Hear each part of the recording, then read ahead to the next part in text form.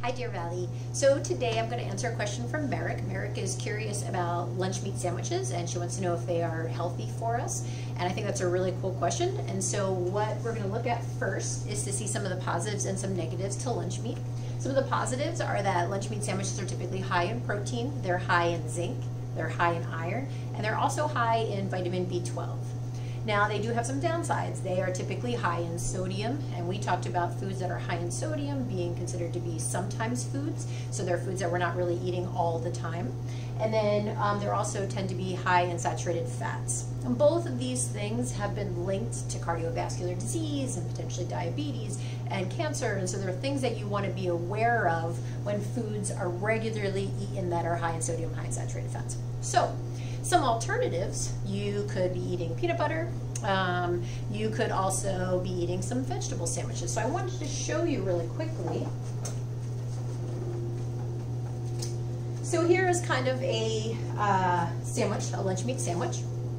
And you can see um, we have some whole wheat bread, which makes that a good thing. Uh, we have some low-fat dairy cheese, so that's a good thing.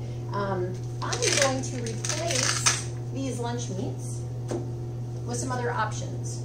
So here's a nice hummus spread that you can use as a protein base and use that kind of like a condiment. There's also different flavors of it, super tasty. Uh, spinach is a higher protein vegetable that you can put on top of your sandwich if you like, inside your sandwich.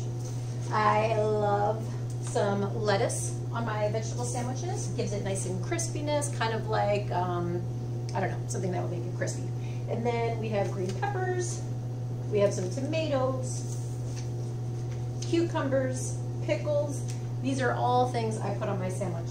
I even, I'm a huge fan of mustard. Mustard doesn't really have too many bad things going on in it. It's uh, vinegar, a little bit of oil, some uh, spices, some seasoning. Mustard seed is what makes it. And then I like some pepperoncinis and some artichoke hearts all sliced up.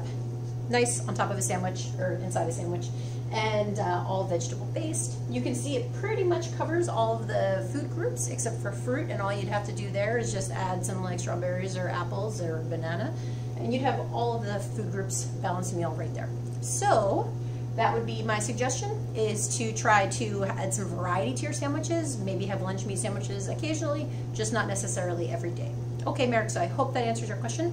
And if anybody else has any questions, please feel free to ask. Have a great day.